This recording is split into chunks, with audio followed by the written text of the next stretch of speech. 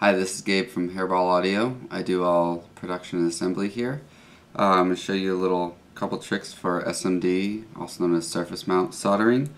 Um, we usually do all of our surface mount uh, production at a local factory here, but for prototyping, uh, we do it ourselves, and there's a couple tricks, and I'm going to show you here on our new Rain Dog op amp.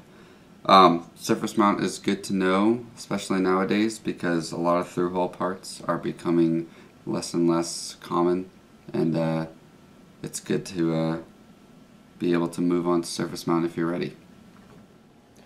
Alright, what we're going to do here is uh, what I call a tack and reflow method. Um, it uh, works for me. Um, what I like to do first is uh, use a little bit of rosin flux just to clean the surface and so I know that our surface is going to be clean. I'm going to put a resistor on R2.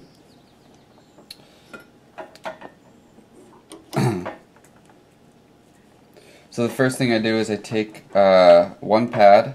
I'm right-handed, so I always like to do the right pad because it's easier for me to hold a resistor with my left hand in pliers. And so we're just going to apply the tiniest amount of solder to this pad. There we go. You got a little happy bubble there.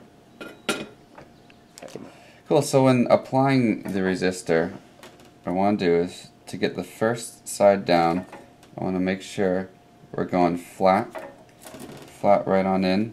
It might become a little bit crooked, that's okay, we can even it out.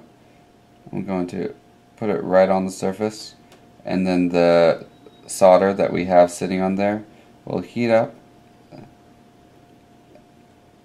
and suck right onto the edge.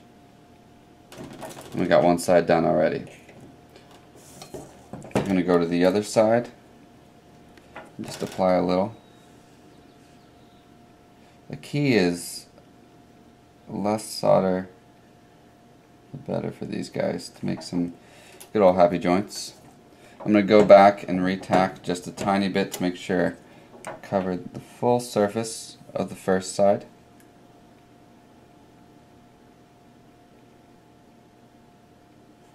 We're good to go. Alright, so just a review, first thing we did is we just uh, cleaned surface with some rosin flux. We uh, tacked the first side and then final soldered the second side and then go back and reflow the first side so make sure there's no cold joints and what you want to see is a nice chamfer on both sides so there's kind of like a little ledge going right on up to cover the top and down to the surface.